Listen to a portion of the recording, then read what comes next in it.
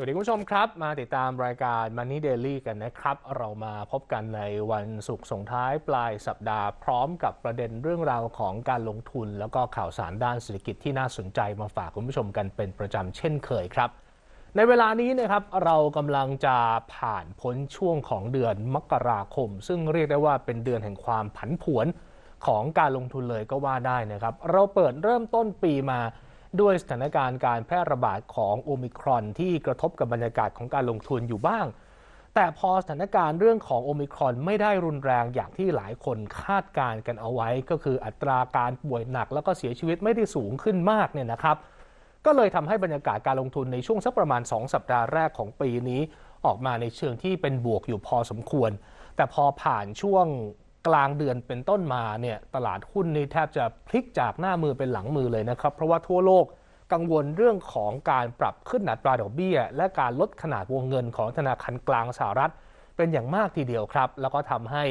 หุ้นที่เคยขึ้นมาเยอะๆ อย่างเช่นในตลาดหุ้นสหรัฐ อย่างเช่น หุ้นเทคโนโลยีเนี่ยนะครับ ก็ปรับตัวร่วงลงไปกันค่อนข้างมากนะครับ ในเรื่องนี้เนี่ยนะฮะ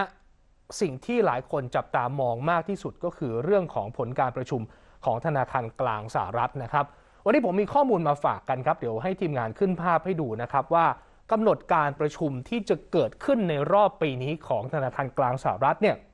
มันจะมีช่วงไหนบ้างนะครับ ปัญหาหลักๆที่คนกังวลกันก็คือในช่วงที่ผ่านมาตั้งแต่มี วิกฤตซับพรามเนี่ยนะครับเมื่อ 10 กว่าปีก่อน ตอนนั้นธนาคารกลางสหรัฐก็เคยใส่เงินแบบ QE เข้ามารอบหนึ่งแล้วเนี่ยนะครับแล้วก็ใส่เงินเข้ามามหาศาล แต่พอสถานการณ์คลี่คลายลง ธนาคารกลางสหรัฐก็เริ่มมีการขึ้นดอกเบี้ย แล้วก็มีการดูดเงิน QE ที่เคยใส่ไปออกมา แต่ยังไม่ทันดูดออกไปหมดเนี่ยนะครับเราก็เจอกับการแพร่ระบาดของโควิด ที่ทำให้ทุกประเทศ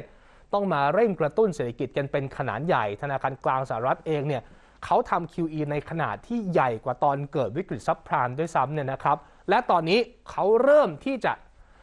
วางแผนแล้วว่าจะดึงดึงเงินออกนะครับ ที่เคยใส่เข้าไปใส่เข้าไป แล้วทำให้เกิดปัญหาเรื่องของเงินเฟ้อนะครับ ที่หน้าจอของคุณผู้ชมณตอนนี้นะครับก็คือกำหนดการประชุมของธนาคารกลางสหรัฐนะครับเขาจะประชุมกันทุกๆ เดือนครึ่งนะครับ ตั้งแต่มกราคมก็เพิ่งผ่านพ้นไป อันนี้เป็นการประชุมรอบแรกของปี ทั้งหมดทั้งปีเนี่ยนะครับจะมีการประชุมของเฟด8 ครั้งด้วยกัน แล้วถ้าคุณผู้ชมสังเกตนะครับ จะเห็นดอกจันอยู่ใช่ไหมครับ ดอกจันตรงนั้น ผมโน้ตเอาไว้ว่าคือการประชุมครั้งสำคัญของธนาคารกลางสหรัฐที่คนคาดการว่าการประชุมครั้งนี้แหละ น่าจะมีการขึ้นดอกเบี้ย ก็คือการประชุมรอบเดือน มีนาคม มิถุนายน กันยายน แล้วก็ธันวาคมนะครับ เพราะอะไรเพราะว่าการประชุมในรอบดังกล่าวเนี่ยเฟดจะมีข้อมูลเรื่องของเศรษฐกิจที่มีความชัดเจนมากยิ่งขึ้น เพราะว่าจะได้ตัวเลขของไตรมาสนั้นๆ เข้ามาอยู่ในมือแล้ว และเขาจะพิจารณาเรื่องของนโยบายการเงิน ให้มันสอดคล้องกับตัวเลขเศรษฐกิจที่เขามีข้อมูลอยู่ได้ ชัดเจนมากยิ่งขึ้นนะครับ อย่างน้อยที่สุดเบื้องต้น คนคาดว่า 4 ครั้งที่ดอกจันเอาไว้เนี่ยขึ้นดอกเบี้ยแน่ ๆนะครับ ก็คืออย่างน้อยที่สุดปีนี้จะมีการขึ้นดอกเบี้ยของเฟด มากถึง 4 ครั้ง แต่ก็มีความเป็นไปได้ว่าเฟดอาจจะขึ้นดอกเบี้ยมากกว่านั้นเนี่ยนะครับ และอาจจะมีการประกาศดูดเงิน QE ที่มากกว่าที่ตลาดคาดการกันเอาไว้ด้วย และนี่แหละครับคือสาเหตุที่ทำให้ตลาดหุ้นทั่วโลก เกิดความผันผวนในช่วงสักประมาณครึ่งเดือนที่ผ่านมานะครับ เพราะว่าคนยังไม่รู้ว่าเฟดจะเอายังไงกันแน่นะครับ จะมีการขึ้นดอกเบี้ย 4 ครั้ง 5 ครั้ง 6 ครั้ง 7 ครั้ง 8 ครั้ง ตลาดยังไม่มั่นใจในเรื่องตรงนี้ รวมทั้งความเร็วในการดูดเงินกลับเนี่ยถ้าดูดเร็วมากๆ มันจะยิ่งกระทบกับตลาดหุ้นมากขึ้นไปอีกเนี่ยนะครับ นอกเหนือจากนั้นเรื่องของโอมิครอนเองเราก็ไม่สามารถที่จะเบาใจได้ เพราะว่าต่อให้การแพร่ระบาดที่เกิดขึ้นเนี่ยมันทำให้เกิดการป่วยหนักและเสียชีวิตไม่มากนัก แต่การแพร่กระจายของโรคที่รวดเร็วนี้ก็ทำให้บางประเทศจะต้องมีการปิดการเดินทางระหว่างกันนะครับ ซึ่งมันก็ไปกระทบกับเรื่องของเศรษฐกิจอีก ผมมีตัวเลขของ IMF ครับออกมาปรับลดคาดการ GDP ของทั่วโลกปีนี้นะครับลงมาสู่ระดับ 4.4%ขณะที่เมืองไทยเองทาง IMF ก็ออกมาคาดการเกี่ยวกับเรื่องของเศรษฐกิจไทยด้วยเช่นกันนะครับ ก็ปรับลดการคาดการลงมาเหลือแค่ 4.1%คือที่ผ่านมาเนี่ยประเทศไทยเศรษฐกิจยังไม่ค่อยฟื้นนะครับ คือเราเจอเรื่องของการท่องเที่ยวที่มันหดตัวไปมาก จากการแพร่ระบาดทำให้ปีที่แล้วเนี่ยทั่วโลกเขาฟื้นกันแล้ว แต่เรายังไม่ฟื้นเนี่ยนะครับ แล้วเราก็คาดหวังว่าปีนี้จะเป็นปีที่ดีของเศรษฐกิจไทย แต่ก็ยังต้องรอดูกันอีกว่าเราจะเปิดประเทศได้เมื่อไหร่ อย่างเช่นกองทุนการเงินระหว่างประเทศหรือว่า IMF นะครับล่าสุดก็ออกมาประกาศปรับลดตัวเลขคาดการณ์การขยายตัวทางเศรษฐกิจโลกในปีนี้ โดยระบุว่าทั่วโลกได้รับผลกระทบนะครับจากการแพร่ระบาดของไวรัสโควิด -19 สายพันธุ์โอมิครอนเนี่ยนะฮะนอกเหนือจากนั้นมันยังมีปัญหาอย่างเช่นเรื่องของภาวะคอขวด ในระบบห่วงโซ่อุปทานที่ทำให้ราคาสินค้าเนี่ยมันแพงขึ้นอย่างรวดเร็ว แล้วก็ปัญหาเงินเฟ้อที่เร่งตัวขึ้นมานะครับ ทั้งนี้ครับ IMF เปิดเผยในรายงานแนวโน้มเศรษฐกิจโลก โดยคาดการว่าเศรษฐกิจโลกจะเติบโตได้ 4.4%ในปีนี้ ซึ่งเป็นการปรับตัวลดลงมาจากเดิมที่เคยคาดไว้ว่าปีนี้ ทั่วโลกจะเติบโตได้ถึง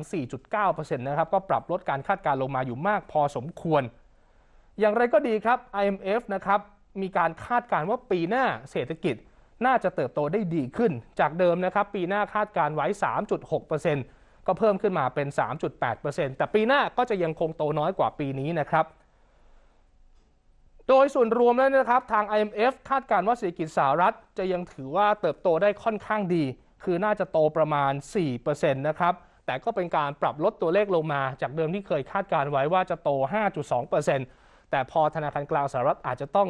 เปลี่ยนทิศทางของนโยบายการเงินแล้วเนี่ยอาจจะทำให้เศรษฐกิจสหรัฐปีนี้โตได้น้อยลงนะครับ ส่วนจีนนะครับก็คาดว่าจะโตได้ 4.8%ในปีนี้ ซึ่งก็เป็นการปรับลดประมาณการลงมาจากตัวเลขเดิมที่เคยคาดไว้ที่ 5.6%นะครับ โดยเป็นผลกระทบจากนโยบาย Zero COVID Policy ของจีนที่เข้มงวดในเรื่องของอการป้องกันโควิด เป็นอย่างมากนะครับ ก็เลยมีต้นทุนในเรื่องของเศรษฐกิจที่ค่อนข้างสูงนะครับ รวมทั้งภาวะตึงตัว ในภาคการเงิน โดยมีสาเหตุหลักนะครับ มาจากปัญหาหนี้สินในภาคอสังหาริมทรัพย์ ส่วนบ้านเราเองครับ แรกเริ่มเดิมที IMF คาดการณ์ว่าปีนี้จะเป็นปีที่ดีของบ้านเรา เศรษฐกิจจะโตได้ถึง 4.5%เขาก็ปรับลดลงมาแล้วนะครับ เหลือ 4.1%แต่ถ้าเราได้ 4.1%จริงๆ ก็ยังถือว่าเป็นตัวเลขที่พอใช้ได้อยู่นะครับ เพราะว่าบางค่ายในบ้านเราเองอะประเมินไว้แค่ประมาณ 3%กว่าหรือว่า 4%เท่านั้นเอง ถ้าเราได้ 4.1% ก็ยังถือว่าไม่น้อยจนเกินไปนะครับ อันนี้คือภาพรวมของเศรษฐกิจที่กำลังเกิดขึ้นรอบโลก แล้วก็อย่างที่ผมได้โน้ตไว้ให้คุณผู้ชมนะครับว่าปีนี้สิ่งที่ทั่วโลกจับตามองมากที่สุด ก็คือการประชุมของธนาคารกลางสหรัฐ เราคงจะต้องติดตามกันเป็นระยะระยะโน้ตเอาไว้เลยครับว่าในช่วงกลางเดือนเกือบเกือบปลายเดือนเนี่ยนะครับของเดือนมีนาคม มิถุนายน กันยายน แล้วก็ธันวาคม จะเป็นช่วงที่ตลาดผันผวนเป็นอย่างมากแน่นอนนะฮะ ดี๋ยวพักกันครู่เดียวกลับมาช่วงหน้าเรากำลังผ่านพ้นในช่วงเดือนแรกของปีนี้แล้ว หลังจากนี้จะต้องลงทุนในตลาดหุ้นอย่างไร เดี๋ยวคุยกันมาวิเคราะห์กันครับ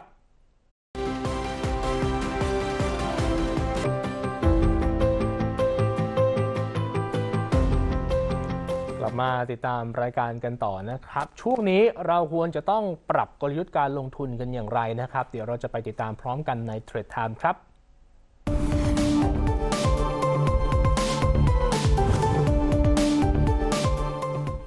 ดไทม์วันนี้นะครับเราคุยกันกับคุณสุโชติธีระวรรณรัตน์ครับผู้อำนวยการฝ่ายวิจัยของบริษัทหลักทรัพย์ KGI ประเทศไทยจำกัดมหาชนนะครับ อยู่ในสายคุยกันสวัสดีครับ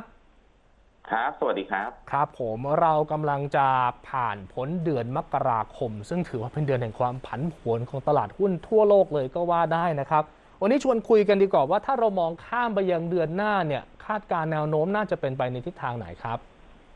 ครับอ่าเดือนกุมภา มีโอกาสผันผวนไม่แพ้เดือนมกราคมครับนะครับผมเชื่อว่ามีโอกาสผันผวนไม่แพ้นะครับ เพราะว่าไฮไลท์หลักเนี่ยจะเป็นในเรื่องของ global financial market ละนะครับ ว่าเฟดกำลังจะใกล้จะขึ้นดอกเบี้ยเป็นครั้งแรกนะครับ หลังจากที่มีการลดอ่ามาตรการ QE มาตลอดทางนะครับ แล้วก็กำลังจะขึ้นดอกเบี้ยเป็นครั้งแรก ซึ่งคาดว่าน่าจะเป็นช่วงเดือนมีนาคมครับนะครับ ตรงนี้เนี่ยความผันผวนที่เกิดขึ้นนะครับ ไม่ว่าจะเป็นตลาดตราสารอ่าตราสารหนี้ตลาดพันธบัตร นะครับบอลยูน่าจะมีความผันผวนเกิดขึ้นนะครับเพื่อตอบรับในเรื่องของการขึ้นดอกเบี้ยครั้งแรกของเฟดอืมนะครับสองก็คืออัตราแลกเปลี่ยนนะครับ exchange rate นะครับจะมีความผันผวนเกิดขึ้น ซึ่งมันจะสะท้อนมาที่ Fed Index ด้วยนะครับ เพราะว่าผมเชื่อว่านะครับแม้ว่าจะมีการซึมซับข้อมูลในเรื่องของการขึ้นดอกเบี้ยของเฟดไปในระดับหนึ่งแล้วเนี่ยก็จริงนะครับแต่การขึ้นดอกเบี้ยจริงเนี่ยผลที่เกิดขึ้นนะครับการเคลื่อนย้ายเงินทุนน่าจะยังเกิดขึ้นอยู่ในช่วงแรกครับนะครับเพราะฉะนั้นเดือนกุมภาพันธ์ผันผวนต่อ นะครับอืมการย่อตัวลงมานะครับของดัชนีนะครับ ถือเป็นโอกาสในเรื่องของการเข้าสะสมหุ้นที่น่าจะเป็นเป้าหมายสำหรับปีนี้นะครับ ก็คือผมมองไปที่กลุ่มธนาคารพาณิชย์ครับก็คือตอบรับในเรื่องของเศรษฐกิจฟื้นตัว แล้วก็แนวโน้มอัตราดอกเบี้ยที่ผ่อนผ่านพ้นจุดต่ำสุดอืมนะครับสองนะครับก็คือหุ้นในกลุ่มท่องเที่ยวนะครับ ก็จะเป็นเป้าหมายในเรื่องของการเข้าทยอยซื้อ เพราะว่าตอนนี้ก็คงเห็นสถานการณ์โควิดโอมิครอนที่เริ่มที่จะผ่อนคลายลงบ้างครับนะครับ อ่าอันนี้ก็จะเป็นสองกลุ่มที่ผมมองว่าถ้ามีการย่อตัวลงมาน่าสนใจนะครับอืมครับ ดาวไซด์ของตลาดหุ้นไทยเองมันมันมากน้อยแค่ไหน เพราะว่าตอนที่ชาวบ้านเขาขึ้นกัน เราก็ไม่ได้ขึ้นแรงเท่าเขา เพราะฉะนั้นตอนที่เขาลงเราก็ไม่ควรจะลงมากเท่าเขาด้วยหรือเปล่าครับ ครับ ก็ตอนนี้เนี่ยผมมองว่าดาวไซด์เนี่ยไม่น่าเยอะอาจจะพันหกร้อยจุดนะครับถ้าเกิดว่ามีโอกาสนะฮะในเรื่องของการพักฐานลงมานะครับเอ่อ ถ้าต่ำกว่า 1,600 จุดเนี่ยเป็นจังหวะในการทยอยซื้อละนะครับผมมองอืมดาวไซด์ไม่น่าเยอะนะครับ เพราะว่าครับอันดับแรกนะครับแม้ว่า PE จะถูกทอนลงมาเพราะดอกเบี้ยขึ้นก็จริงเนี่ยอืมแต่ตอนนี้สถานการณ์ในเรื่องของภาคการท่องเที่ยวผมเชื่อว่าเริ่มดูดีขึ้นเรื่อยๆนะฮะครับดูดีขึ้นเรื่อยๆนะครับอืมเพราะฉะนั้นเนี่ยในเรื่องของตัวเลขประมาณการกำไรของบริษัทจดทะเบียนปีนี้เนี่ยน่าจะน่าจะยืนได้ตามที่คาดการณ์กันไว้ก็คือประมาณสัก95 บาทถึง 100 บาทต่อหุ้น เพราะฉะนั้นเนี่ยกำไรที่มันโตขึ้นมานะครับมันน่าจะชดเชยกันไปได้ เพราะฉะนั้นผมมองดาวไซด์ ของเซ็นเด็กไม่เยอะเช่นกันนะครับ ลงมาครับเป็นจังหวะซื้อแล้วกันนะครับแถวๆ1,600จุดเนี่ยน่าสนใจนะครับครับคำว่าซื้อในที่นี้ของคุณสุโชตคือซื้อแล้วถือระยะกลางถึงยาวเลย หรือว่าซื้อแค่เล่นรอบเฉยๆครับครับซื้อแล้วถือได้นะครับเพราะว่าการขึ้นดอกเบี้ยของเฟดเนี่ยครั้งแรกๆเนี่ยจะมีความผันผวนเกิดขึ้นในตลาดการเงินอืมนะครับแต่ถ้าเฟดเนี่ยมีการขึ้นดอกเบี้ยเป็นซีรีส์ครั้งที่สองครั้งที่สามครั้งที่สี่เนี่ยโดยปกติสถิติมันจะชี้ว่าหุ้นจะขึ้น นะครับเพราะว่ามันจะสะท้อนในเรื่องของเศรษฐกิจเนี่ยกำลังจะดีขึ้นละนะคครัรับบเพราะฉะนั้นเนี่ยถ้าลงมาครั้งแรกนะครับพักฐานลงมาแรงๆเป็นจังหวะซื้อเพื่อถือละนะครับสำหรับการถือสำหรับทั้งปีเลยนะครับครับงั้นย้ำกันอีกทีครับว่าจากกลุ่มที่คุณสุโชตชอบเนี่ยถ้าให้เลือกเป็นหุ้นนี่เราเราชอบตัวไหนอะไรยังไงบ้างครับ ครับกลุ่มแรกเป็นธนาคารพาณิชย์นะครับผมชอบตัว BBL นะครับด้วยความที่เขาค่อนข้างยังถูกอยู่ แล้วก็เชื่อว่าคาตาลิสในเรื่องของการทานฟอร์มตัวเองเป็นดิจิ t a ลเทคคอมพานีเนี่ยนะครับยังเหลืออยู่นะครับแบงก์ตัวนี้เนี่ยยังไม่ได้มีการขยับตัวเรื่องนี้มากนักเทียบกับแบงก์อื่นนะครับเพราะฉะนั้นเนี่ยมันยังมีสตอรี่อยู่นะครับแล้วก็ valuation ค่อนข้างถูก แล้วก็โดยปกติแล้วเนี่ยลูกค้าของตัว BBL นะครับที่เป็นลูกค้า corporate เนี่ย มักจะฟื้นตัวได้เร็วในช่วงที่เศรษฐกิจกำลังฟื้นตัวนะครับจะเร็วกว่ากลุ่ม SME นะครับเพราะฉะนั้นก็มองว่าเป็นแบงค์ที่น่าจะเป็นเป้าหมายนะครับสำหรับปีนี้ได้ กลุ่มที่ 2 คือกลุ่มท่องเที่ยวนะครับ ผมอาจจะไปมองตัวกลุ่มที่เป็นลักษณะของโรงแรมนะครับตอนนี้เนี่ยทางฝ่ายรีเสิร์ชเราชอบตัว SHR นะครับหรืออืม H Hotel and Resort นะครับครับตัวนี้เป็นหุ้นของกลุ่มสิงห์นั่นเองนะครับก็เป็นตัวที่ตอนนี้ valuation ยังต่ำกว่า price to book นะครับตอนนี้ price to book ต่ำกว่าหนึ่งเท่านะครับอันนี้ก็เป็นกลุ่มท่องเที่ยวที่น่าสนใจ แล้วก็ผมอาจจะเติมไปอีกตัวหนึ่งนะครับอีกกลุ่มหนึ่งอาจจะเป็นไม่ได้ท่องเที่ยวโดยตรงนะครับ แต่ว่าค่อนข้างเชื่อมโยงนะครับ ก็คืออาจจะมองไปที่โรงพยาบาลบำรุงราษฎร์หรือ BH นะครับ อย่างที่ตอนนี้เนี่ยเป็นในเรื่องของภาคการท่องเที่ยวน่าจะเริ่มกลับมานะครับ แล้วก็อย่างที่เราทราบข่าวกันในเรื่องของการสานความสัมพันธ์กับทางซาอุดิอาระเบียนะครับ น่าจะเป็นเอ่อประเด็นนะครับ ในเรื่องของอืมการท่องเที่ยวเชิงสุขภาพนะครับ แล้วก็โรงพยาบาลขนาดใหญ่เนี่ยครับ น่าจะผ่านพ้นจุดที่แย่ที่สุดไปแล้ว คือนักท่องเที่ยวนะเอ่อผู้ป่วยต่างชาติเนี่ยน่าจะเริ่มกลับเข้ามาไทยแล้วนะครับครับก็มองตัวผม BH น่าสนใจนะครับอ่าวันนี้ได้ไปหลายตัวนะครับ ลองไปศึกษาทำการบ้านกันเพิ่มเติมดูนะครับ วันนี้ขอบคุณคุณสุโชตนะครับ ครับ สวัสดีครับ สวัสดีครับ อันนี้คือภาพรวมของตลาดหุ้นนะครับ แล้วก็แนวโน้มในเดือนกุมภาพันธ์ ซึ่งอาจจะยังคงเป็นเดือนที่ผันผวนอยู่สำหรับบรรยากาศของการลงทุนนะครับ แต่หลักใหญ่ใจความ ก็คือถ้าตลาดได้ความชัดเจนของธนาคารกลางสหรัฐเรื่องของการขึ้นดอกเบี้ย เรื่องของการลดขนาดวงเงิน QE เมื่อไหร่เนี่ยตลาดมีโอกาสที่จะปรับตัวขึ้นนะครับคือช่วงแรกๆเป็นช่วงที่ยังไม่มีใครเดาอะไรออก คนยังไม่รู้เนี่ยตลาดมันก็แกว่งเยอะนะครับเดี๋ยวเราจะพักกันอีกครั้งหนึ่งกลับมาช่วงหน้าลองไปประเมินเรื่องของภาพรวมในตลาดทองคำกันบ้างครับ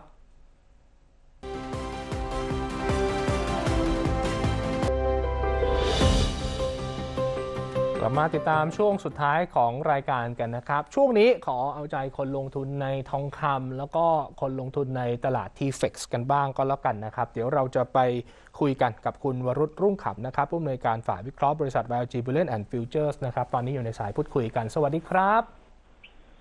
วัสวัสดีครับ คุณเฉลิมพรครับ ครับ ภาพของเดือนมกราคมที่กำลังจะผ่านพ้นไปนี่ก็เป็นเดือนแห่งความผันผวนของสินทรัพย์ในแทบทุกประเภทเลยนะครับ เอาทองคำก่อนแล้วกันครับ ตอนนี้แนวโน้มของทองคำเป็นยังไงบ้างที่ผ่านมาก็มีเรื่องของทั้งเฟดมีเรื่องของสงครามที่ร่ำรำว่าเอ๊ะจะเกิดอะไรขึ้นบ้างเนี่ยนะครับ ตอนนี้เรามองยังไงบ้างครับ ครับ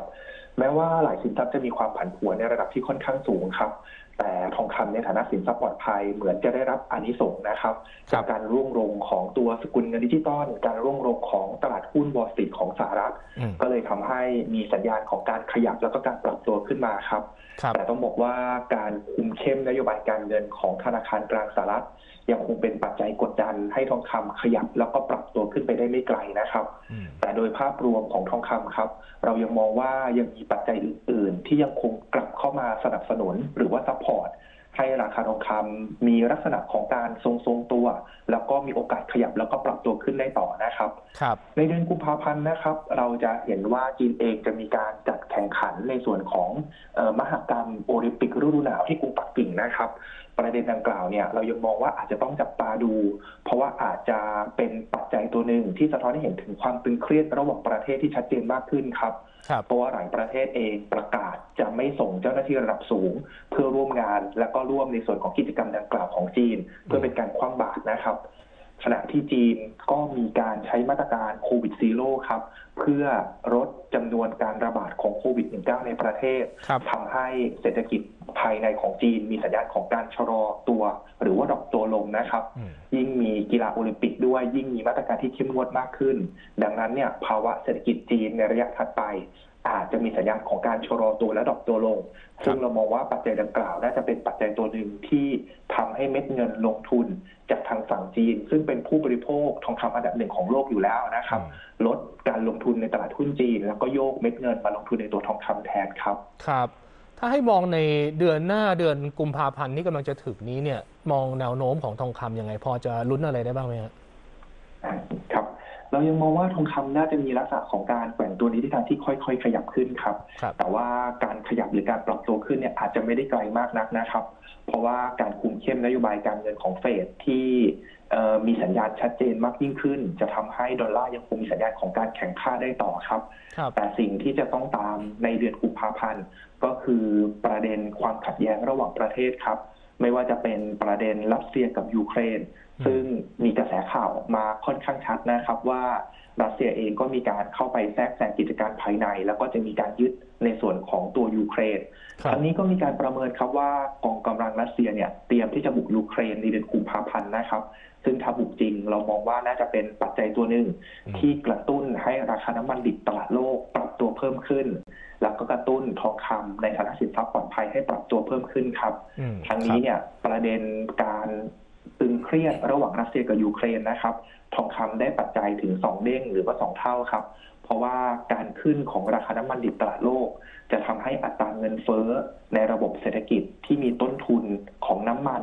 ที่ปรับตัวขึ้นเนี่ยเป็นตัวเร่งอัตราเงินเฟ้อให้ปรับตัวครับเพิ่มตามไปด้วยนะครับครับก็น่าจะทำให้เงินเฟ้อในระบบเศรษฐกิจเร่งตัวขึ้นทองคำในฐานะสินทรัพย์ที่ป้องกันเงินเฟ้อก็จะได้รับอานิสงส์อีกทอดหนึ่งครับ อืมครับ อย่างทองนี่ขึ้นมารอบนี้ต้องขายไหมครับ คือหลายคนเริ่มบ่นว่าที่ผ่านมาคือพอขึ้นแล้วไม่ได้ขายนี่ก็กลับไปที่เดิมไม่ค่อยได้อะไรสักเท่าไหร่ฮะครับแนะนำเป็นลักษณะของการเล่นรอบดีกว่าครับ เพราะว่าถ้าถือยาวๆเนี่ยเรายังมองว่า ถ้าเราคุยกันในครั้งนี้เราจะเห็นว่ามีทั้งปัจจัยบวกแล้วก็ปัจจัยลบนะครับครับแล้วราคาทองคำเนี่ยก็จะมีในส่วนของเออการเคลื่อนไหวตามข่าว หรือตามกระแสการคาดการณ์ต่าง ๆ ในอนาคตที่กำลังจะเกิดขึ้นนะนะครับ ดังนั้นเนี่ยราคาทองคำจะยังไม่ได้มีลักษณะของการปรับขึ้น เร็วๆแล้วก็แรงๆหรือขึ้นทะยานอย่างต่อเนื่อง จะมีจังหวะขึ้นแล้วก็ลงขึ้นแล้วก็ลงเป็นรูปแบบของฟันปลาสลับกันนะครับอืมเอ่อครับเราให้แนวต้านที่ต้องจับตานะครับ บริเวณ 1,877 เหรียญดอลลาร์ต่อทรัสออน เป็นระดับสูงสุดของเดือนพฤศจิกายนของปีที่ผ่านมาครับ ถ้าราคาปรับตัวขึ้นไปแล้วยังไม่ผ่าน อาจจะแบ่งขายเล่นรอบนะครับ รอราคาอ่อนตัวและย่อตัวลงมา เข้าใกล้ในโซน 1,809 เหรียญดอลลาร์ต่อเพซออนครับ ก็อาจจะเป็นจังหวะของการเข้าไปเก็บสะสมเพิ่ม หรือเข้าไปถือครองเพิ่ม อีครักบครั้งหนึ่งได้เหมือนกันนะครับ โดยภาพรวมค่าทองคำยังสามารถเคลื่อนไหวอยู่เหนือ 1,809 1,800 เหรียญดอลลาร์ต่อทรอยออนซ์ได้ เรายังมองว่าทองคำน่าจะมีลักษณะของการแกว่งตัวในทิศทางที่ค่อย ๆ ขยับขึ้นได้ต่อ ก็มีลุ้นสำหรับปีนี้ทั้งปีนะครับ น่าจะได้เห็นทองคำใกล้ๆกับบริเวณเออน่าจะขึ้นไปแตะบริเวณพันเก้าร้อยกลางกลางเก้าร้อยปลายๆอะนะครับครับ ซึ่งถ้าผ่านพันแปดร้อยเจ็ดสิบเจ็ดเหรียญดอลลาร์ต่อทรอยออนซ์ขึ้นไปได้ ก็จะมีแนวต้านแรกในโซนพันเก้าร้อยสองเหรียญดอลลาร์ต่อทรอยออนซ์ เป็นจุดจับตาจุดถัดไปครับ โอเค ได้ครับ เดี๋ยวรอลุ้นกันไป ว่าปีนี้จะเป็นปีที่ดีของทองคำมากน้อยแค่ไหนนะครับ วันนี้ขอบคุณคุณวรุษนะครับเอ่อครับยินดีครับ สวัสดีครับ สวัสดีครับ นี่คือเรื่องราวทั้งหมดนะครับที่เรานำมาฝากกันในรายการประจำวันนี้นะครับ กลับมาติดตามได้ใหม่ในวันจันทร์หน้าเวลา 10นาฬิกา5นาทีวันนี้ลากันไปก่อน สวัสดีครับ